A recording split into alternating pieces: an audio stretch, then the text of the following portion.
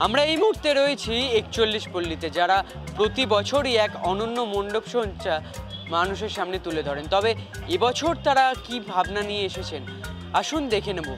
প্রথমেই আপনাদের দেখাবো যে মণ্ডপে ঢুকতে গেলেই একটি জমিদার বাড়ি দেখা যাচ্ছে। অর্থাৎ আগেকার দিনের যে জমিদার বাড়ি আমরা দেখেছি, সেই জমিদার বাড়ির আদলেই এবছরের তাদের মণ্ডপ। এবং প্রথমেই মণ্ডপের ভেতরে ঢুকতে গেলেই দেখা যাবে যে একটি সিংহদুয়ার রয়েছে, যার দুদিকে দুটি সিংহ রয়েছে এবং তারপরেই ভেতরে দুজন দারোয়ান রাখা হয়েছে এবং তার পাশ দিয়েই মণ্ডপের ভেতরে ঢোকা যাবে।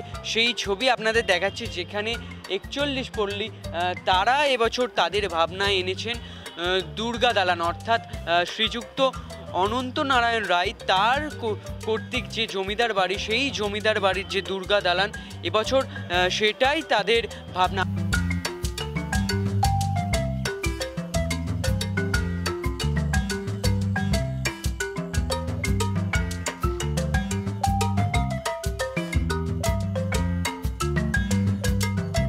এবছর আমাদের ভাবনা মানে আমাদের আমরা একটা পুরনো জমিদার বাড়ি।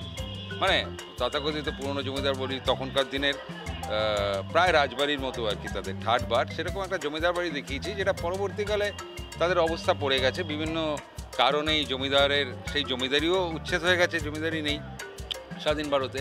এবং তাদের যে পরিবার পরিবার পরিবার, সমস্ত আলাদা আলাদা হয়ে গেছে, পেশার তাগিদে মামলা মোকদ্দমা যেটা হয়ে থাকে।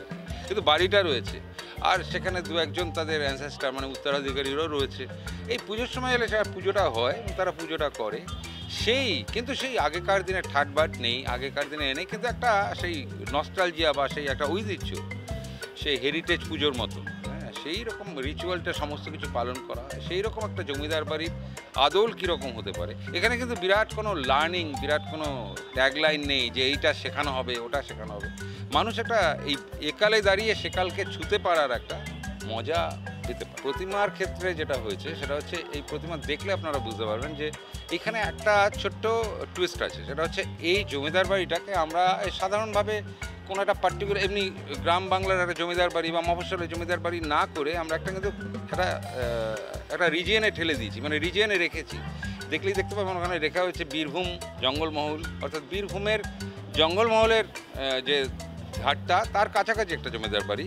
যার ফলে ওইখানকার কালচার অনুযায়ী আমাদের যে দুর্গা প্রতিমা, সেটাও কিন্তু একটু ওই জঙ্গলমহলের যে দেবী, ওইভাবে একটু ওই দিকের ধরন ওই কালচারের একটা ছাঁচ আছে বাঙালি পুজো সব কিছুই ঠিক আছে, কিন্তু দুর্গার মধ্যে একটা এক চেলার দুর্গা প্রতিমা, জমিদার বাড়ির দুর্গা প্রতিমা, তার যে শেপ বা ধরন আমরা দেখতে অবস্থা তাই, কিন্তু পোশাকে ধরনে তার মধ্যে একটুখানি ওই বীরভূমের দিকে মানে লাল মাটির দেশের একটা জিনিস আছে, সেটা দেখলে বোঝা যায়।